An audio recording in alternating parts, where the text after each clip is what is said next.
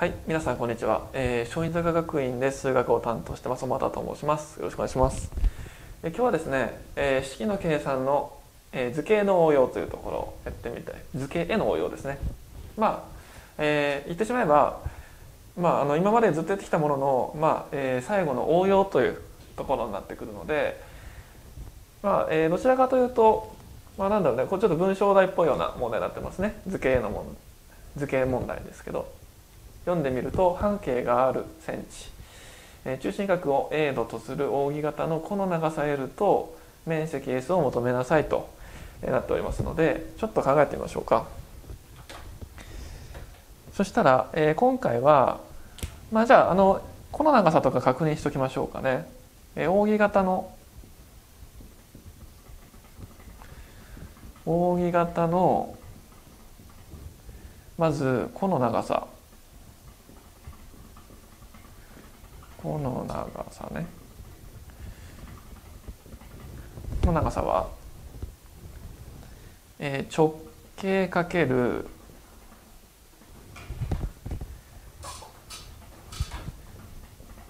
直径かけるえーまあ、円周率ね。π ですね。π かける、えー、360度分の中心角でしたね。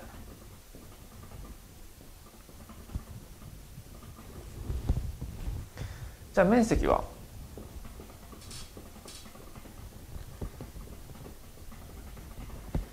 面積はっていうと、えー半径かける半径かける π だから半径の2乗。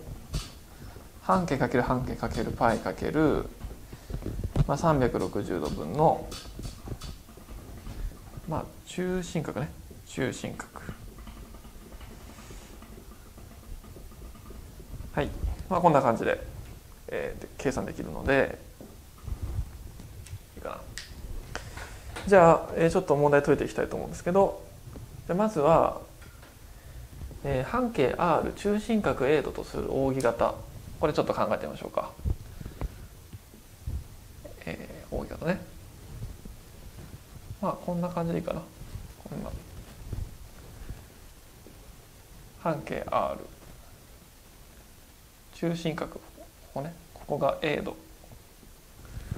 こんな扇形で、まあ、求めたいのはこの長さ L と面積ですね。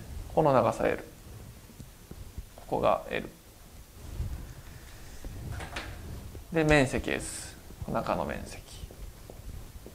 S こんな状況になってます。はい。じゃあ回答を作っていきましょ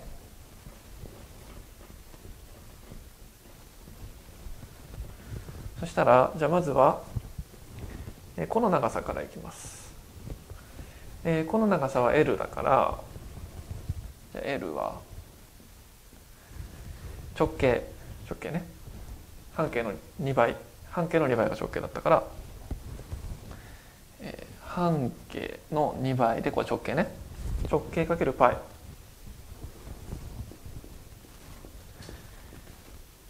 360度分の中心角は A 度ですからこれ A ね。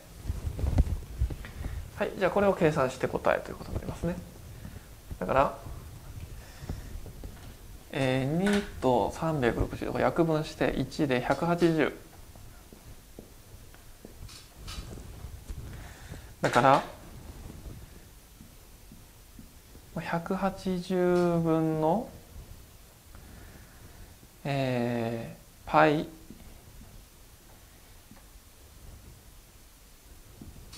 まあこんな感じですかね180の πAR まあ π は3.14ぐらいね、まあ、先に基本的には書きますねこうやって文字より先に書くかな答えは180分の πAR これで OK でじゃあ次、えー面積 S 面積 S は、ここに書いたけど半径の2乗かける π かける360分の中心角だからじゃあ S はっていうと半径の2乗 R の2乗ね。かける π かける360度分の A あ失礼。A ね、はい、というわけで、えー、じゃあこれ計算すると360分のえー、π AR2 乗ですね、まあ、こんなふうに求まりますね。で、えー、ちょっとまあ最後ね一応補足なんですなるんですけどこれはちょっとあの理解できる人だけでいいんだけどまあよくあのねこの面積 S えー、扇形の面積 S を2分の 1RL っていうふうにね考えたりするんだけど、まあ、要は2分の1かける、まあ、半径かけるこの長さね、まあ、なんか三角形みたいなイメージかな。底辺かける底辺 L かける高さ R みたいなね、まあ、こんなふうな公式でも扇形の面積って一応求まるんですよ。ちょっとそれを最後に出してみましょうか。